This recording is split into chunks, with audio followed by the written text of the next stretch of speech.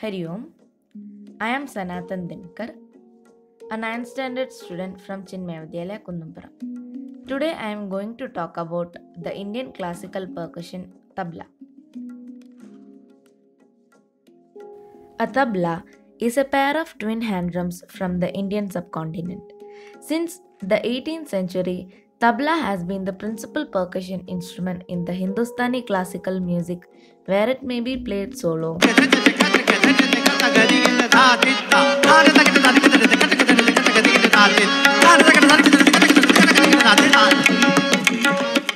or along with other instruments and vocals also called as jugalbandi.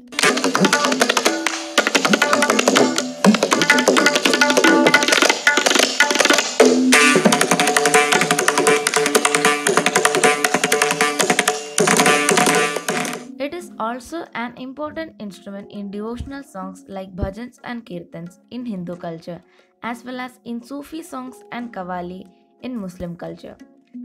Tabla is also played in popular folk music performances not only in India but also in countries like Bangladesh, Pakistan, Nepal, Afghanistan, and Sri Lanka. The tabla was invented in the first half of the 18th century by a drummer named Amir Khusro. The history of tabla is unclear and there are multiple theories regarding its origins. Tabla consists of two differently sized drums Daya, the smaller one, and Baya, the bigger one. In different regions, they have different names. Daya is simply called as tabla, whereas Baya is called bhaiya, daggi, or dagga. Tabla is completely handmade.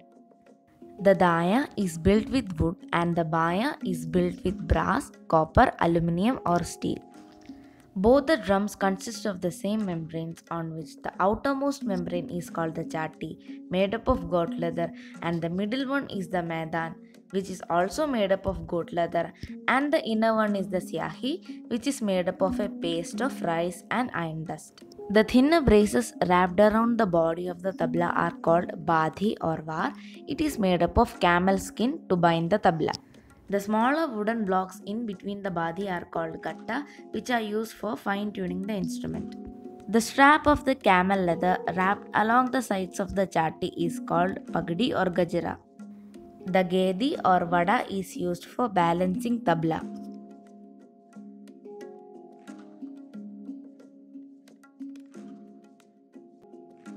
Na, tin, ga, ge, i, re, i, t. Talas are a group of matras categorized in a definite time circle composed of basic elements known as bols. There are many talas in tabla. A qaida is a type of tabla composition where a rhythmic theme is introduced and elaborated through improvisation of the generations. The qaida was originated from the Delhi Gharana.